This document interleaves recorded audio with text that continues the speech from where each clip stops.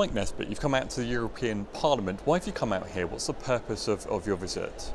Well, there are two reasons for the timing. One is the debate today uh, on the Northern Ireland peace process here in Brussels.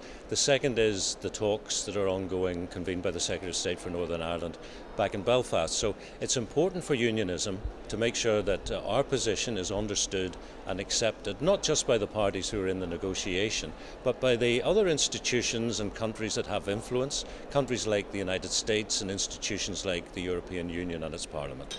What's your message then today to the European Parliament, to MEPs from across Europe and the European Union?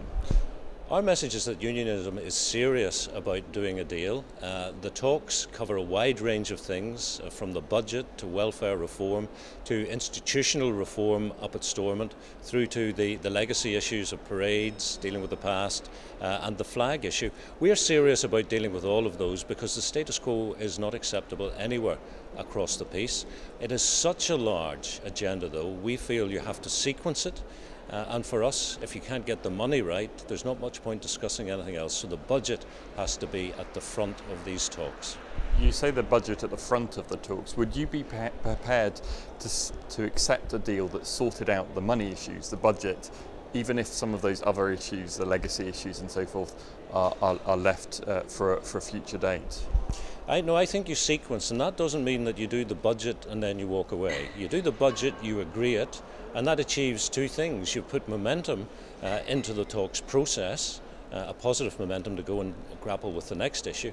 And you also send a message out to the public who are getting pretty cynical about our inability to agree that actually we have agreed on something, it's something very important, and we're sticking in there and we're taking the next bite out of the elephant.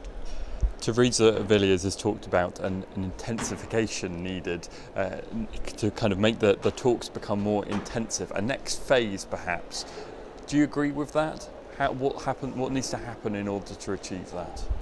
The talks to date have achieved nothing except that the talks have happened, and to some extent that is a positive. But if we're going to take it to somewhere really meaningful, we do have to intensify it. We have to move beyond bilaterals uh, and have formats where more than one local party is sitting around the table, uh, because only that way can you move parties off their, their holding position, out of their comfort zone, and see what is actually possible in terms of fresh and imaginative agreements. Do you see progress being possible on some of these uh, legacy issues, given that uh, you know the Haass wasn't able to, to reach a deal, the DUP didn't join join a, a deal on that one? Has failed because I think that the proposals were not sound proposals. Uh, it's not because the Ulster Unionist Party does not want to do a deal on the legacy issues. We don't like the status quo in terms of the flying of the Union flag, nor do we like the status quo in terms of controversial parades or indeed dealing with the past. They all have to be dealt with.